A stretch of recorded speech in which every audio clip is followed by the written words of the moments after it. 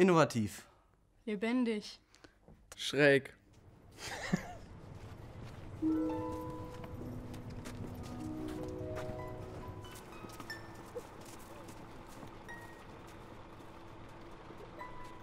Mein Name ist Thomas Grote, ich bin der Dirigent des Märkischen Jugendsymphonieorchesters MJO. Ich bin Anke und ich bin die Dozentin für die Hafen hier im Jugendorchester.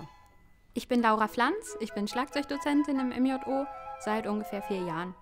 Was mich an der Arbeit mit Jugendlichen allgemein immer fasziniert, ist die Frische und die Hingabe an die Sache, die uns immer wieder auf die Musik bezogen zu ganz hervorragenden Ergebnissen führt. Magisch. Familiär. Amüsant. Im MJO kann eigentlich jedes Kind äh, ab 13, 14 Jahren mit einem klassischen Instrument mitmachen, welches Lust am gemeinsamen Musizieren hat. Gigantisch. Voll richtig. Spaßig. Hier im Orchester haben wir die Möglichkeit, Sachen zu spielen, die im Musikschulorchester noch nicht möglich sind.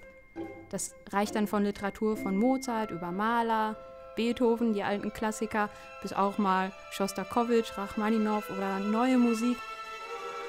Anspruchsvoll. Albern. Und fleißig.